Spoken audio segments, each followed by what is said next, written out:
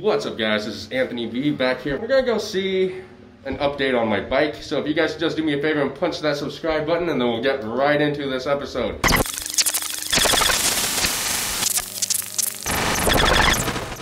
I got a seat made by Saul. I'm pretty sure you guys saw that episode not too long ago.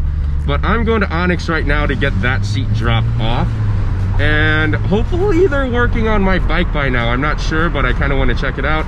And on top of it, I want to see if I can get the base plate for the other seat, the, the, the stock seat on my actual bike.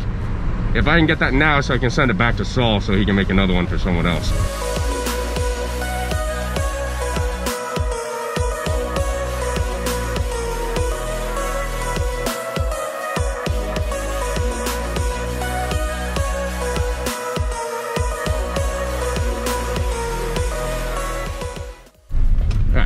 Be right back. Okay.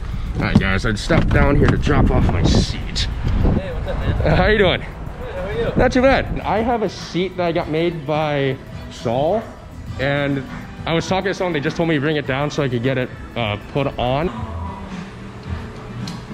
In Onyx HQ, and for all you guys waiting, here they are. Oh look, I see a 2300. Appreciate it, man. Oh, yeah, Thanks. sure, man. And No I'll talk to you guys soon. Definitely. Have a good one. All right, we have uh, the bike seat uh, given to them, and I switched it out, and then I got the other one to send to Saul. Now, me and my buddy are gonna go get lunch. That little wooden bike is awesome. Who are these two people on an Onyx I see?